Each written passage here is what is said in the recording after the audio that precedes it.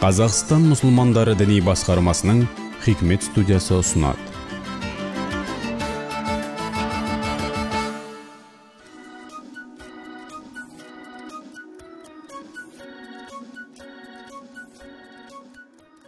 Ассалаумағалейкум ардақты ағайын. Армысыздар құрметті отандастар. Бағдарламамыздың бүгінгі санында муслим кезет сайтына келіп түскен маңызды деген сауалдарға жауап беретін боламыз.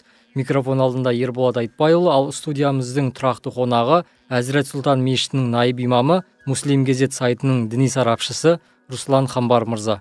Құрметті руслан мятбекұлы хикмет телерадио студиясына қош келдіңіз. Қош болдық рахмет. Өзіңіз жақсы білесіз әр күн сайын муслим кезет сайтына тыңдармандар тарапынан сан алуан сауалдар келіп жатады. Солардың бірі шымкент қаласынан азамат деген тыңдарманымыз.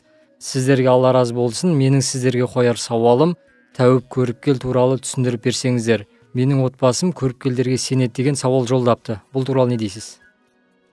Бисмиллахи рахмани рахим иә көріпкел балгер құмалақшы жұлдызшы және тәуіп. Бұлардың атаулары әртүрлі болғанымен тірлігі бір. Олар түрлі тәсілмен ғайыптан хабар берумен айналысады. Адамның өткен шағы мен болашағы жайлы айтқысы келеді. Олар карта кофе тас және немесе басқа да құмалақ секілді нәрселер пайдалануы мүмкін. Көріпкелдер жайлы құран кәрімде шайтандар кімге түседі? Сендерге хабар берейін бе?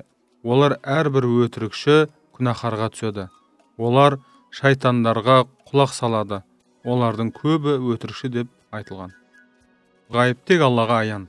Шын мәнінде ғайыпты тіпті таңдаулы пайғамбар да ең ұлық періште де білмейді.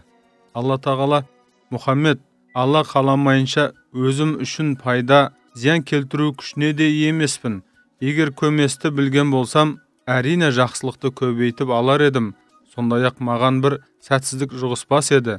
Мен иман келтірген елді ескертуші және қуантушы ғанамын де деп беймәлім өткеннің және бұлыңғыр болашақтың ақиқаты айтылған. Фиқ ғалымдарының пікірінше көріпкелдікпен айналысу яғни ғайыпты білемін деп жариялау және сол ісін кәсіп етіп тапқан табысы харам. Бұл шариғат рұқсат етпеген жолмен келген табыс. Сонымен бірге тәуіпке барып өткен және болашақ жайлы немесе бір істің немен бітерін сұрау да харам деп пәтуа берген. Айша анамыз алла одан разы болсын мынадай хадисте риуаят етеді. Адамдар көріпкелдер жайлы сұрағанда пайғамбар саллаллаху алейхи уассалам олар түкке тұрғысыз деп жауап береді. Адамдар уа алла елшісі олардың кейде айтқан сөзі рас болып шығады дейді. Пайғамбарымыз саллаллаху алейхи уассалам ол бір шындық сөзі жын естіп серігінің яғни сол көріпкелдің құлағына сыбырлайды. Ал ол көріпкел оған жүз жалған сөзді араластырып айтады деп келтірген екен. Жақсы рахмет дархан деген келесі тыңдарманымыз битва экстрасенсов деген телебағдарламаны көруге бола ма деген сауал жолдапты. Шариғат тұрғысынан бұған не дейсіз?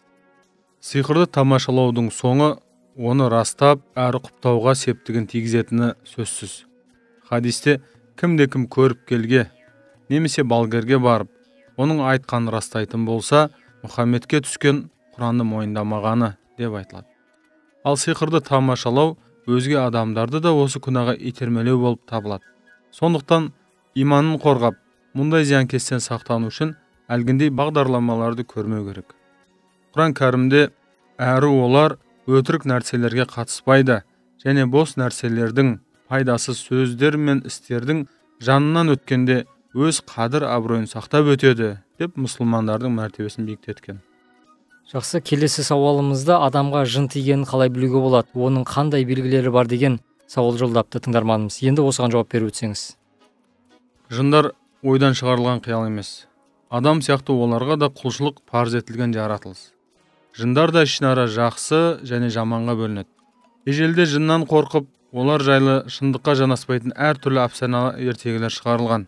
Құран кәрімде адамдардың ішіндегі кейбір кісілер жындардың ішіндегі кейбір еркек жындардан пана сұрап олардың менменсіп басынуларын арттыратын еді деген аят бар.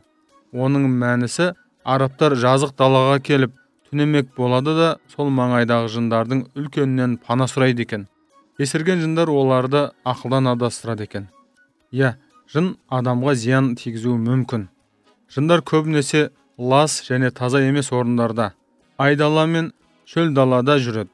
Күн батқанда жер бетіне тарала бастайды. Алла тағала қалауымен олардан қорғану үшін пайғамбарымыз саллаллаху алейхи уассалам үйреткен таңғы және кешкі сүннет дұғаларды оқып жүру абзал. Құран кәрімде анығында менің құлдарыма олардың үстінен сенде билік жоқ тек адасқандардан және саған ергендерге ғана билік бар деп әмір етілгендей шайтан алла тағаланы зікір етіп және құлшылық жасап жүрген адамдарға жақындай алмайды. Сондай ақ құран кәрімде ақиқатында оның шайтанның билігі оны өзіне дос қамқоршы тұтқандарға және онымен серік қосатындарға ғана жүреді дегендей жын өзін мазалаған адамға жамандық етеді. Мәселен кірдің суын немесе ыстық суды есік алдына немесе көшеге төге салу айдалада ұйықтап қалу күл қоқысты басу елсіз жерде түнделетіп жүру малдың сүйегін тебу үнемі күнә жасап жүру және сиқырланып қалу сияқты себептермен жын тию мүмкін.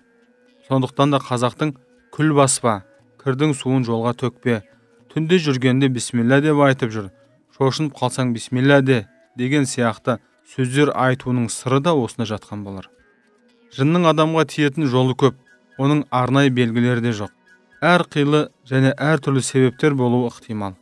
Бірақ тәжірибе көрсеткендей мынадай белгілерінен байқауға болады бірінші ешбір себепсіз үнемі бас ауыру. Екінші аяқ қолдың ұйығанын сезіну.